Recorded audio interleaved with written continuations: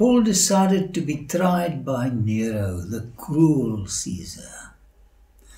Now, when Festus had come to the province, after three days he went up from Caesarea to Jerusalem. Then the high priest and the chief men of the Jews informed him against Paul, and they petitioned him, asking a favor against him, that he would summon him to Jerusalem, while they lay in ambush along the road to kill him.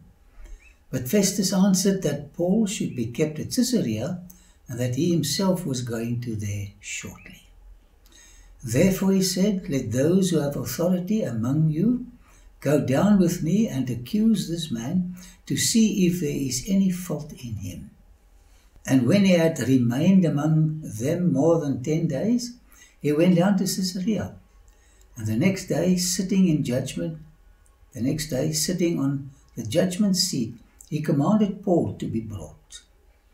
When he had come, the Jews who had come down from Jerusalem stood about and laid many serious complaints against Paul, which they could not prove. Sad. While he answered for himself, neither against the law of the Jews, nor against the temple, nor against Caesar have I offended in anything at all. But Festus, wanting to do the Jews a favor, answered Paul and said, Are you willing to go up to Jerusalem and there be judged before me concerning these things? So Paul said, I stand at Caesar's judgment seat, where I ought to be judged. To the Jews I have done no wrong, as you very well know. For if I'm an offender or have committed anything deserving of death, I do not object to dying. But if there is nothing in these things of which these men accuse me, no one can, can deliver me to them. I appeal to Caesar. Then Festus, when he had conferred with the council, answered, You've appealed to Caesar.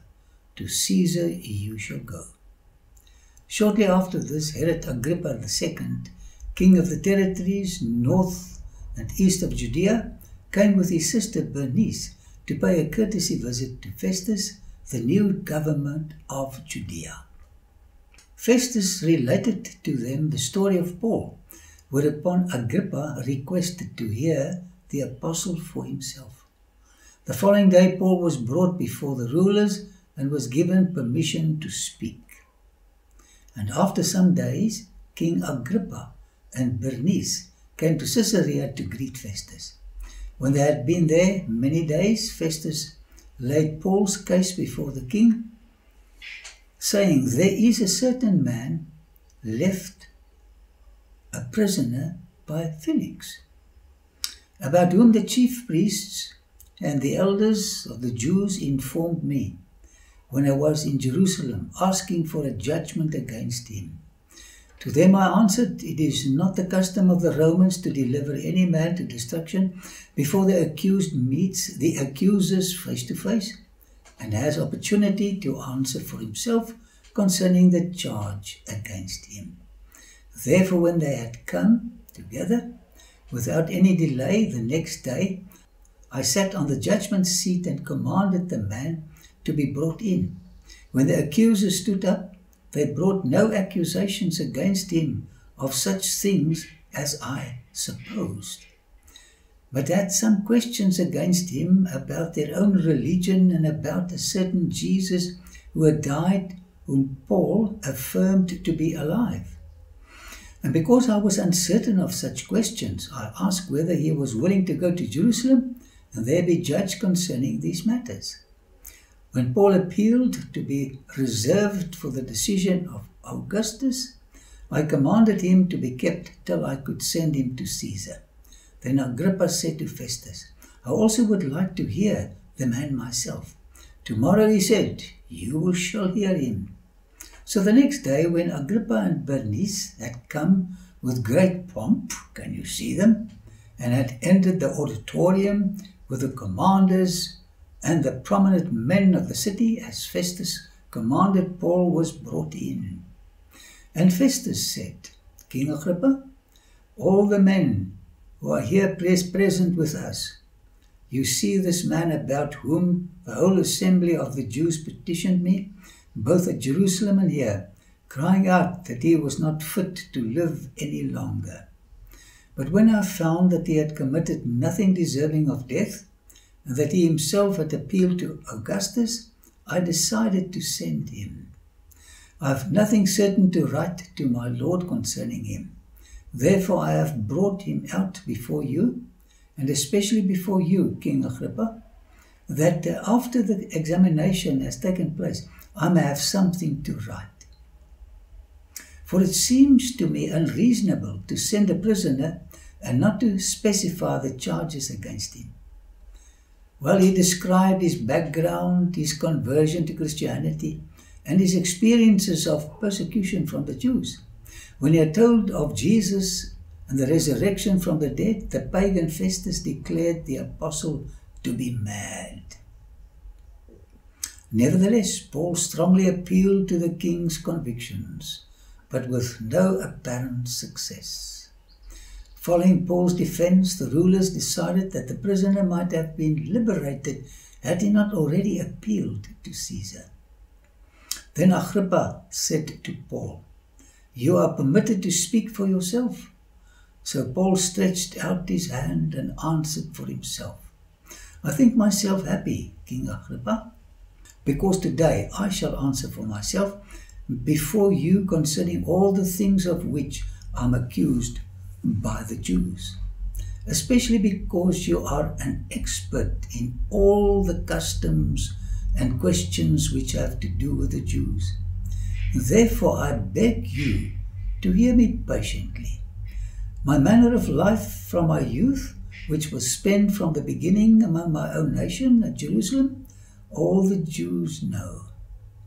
They knew me from the first, if they were willing to testify that according to the strictest sect of our religion, I lived a Pharisee. And now I stand and am judged for the hope of the promise made by God to our fathers. To this promise, our twelve tribes, earnestly serving God night and day, hope to attain. For this hope's sake, King Agrippa, I am accused by the Jews, who should be thought incredible by you that God raised the dead. Indeed, I myself thought I must do many things contrary to the name of Jesus of Nazareth. This I also did in Jerusalem, and many of the saints I shut up in prison, having received authority from the chief priests and when they were put to death, I cast my vote against them. And I punished them often in every synagogue and compelled them to blaspheme. And being exceedingly enraged against them, I persecuted them even to foreign cities. While thus occupied, as I journeyed to Damascus with authority and commission from the chief priests, at midday, O king, Along the road I saw a light from heaven, brighter than the sun, shining around me and those who journeyed with me. And when all had fallen to the ground, I heard a voice speaking to me, saying in the Hebrew language, Saul, Saul, why are you persecuting me? It is hard for you to kick against the goats. So I said, Who are you, Lord? And he said, I'm Jesus, whom you are persecuting. But rise and stand on your feet, for I have appeared to you for this purpose, to make you a minister and a witness both to the things which you have seen and of the things which I will yet reveal to you. I will deliver you from the Jewish people as well as from the Gentiles, to whom I now send you, to open their eyes in order to turn them from darkness to light and from the power of Satan to God, that they may receive forgiveness of sins and an inheritance among those who are sanctified by faith in me. Therefore, King Agrippa, I was not disobedient to the heavenly vision, but declared first to those in Damascus and in Jerusalem, and throughout all the reign of Judea, and then to the Gentiles, that they should repent, turn to God, and do works befitting repentance. For these reasons, the Jews seized me in the temple and tried to kill me. Therefore, having obtained help from God, to this day I stand witnessing both to small and great, saying no other things than those which the prophets and Moses said would come. That the Christ would suffer, that he would be the first to rise from the dead, and would proclaim light to the Jewish people and to the Gentiles. Now, as he thus made his defense, Festus said with a loud voice, Paul, you are beside yourself. Much learning is driving you mad. But he said, I'm not mad, most noble Festus, but speak the words of truth and reason.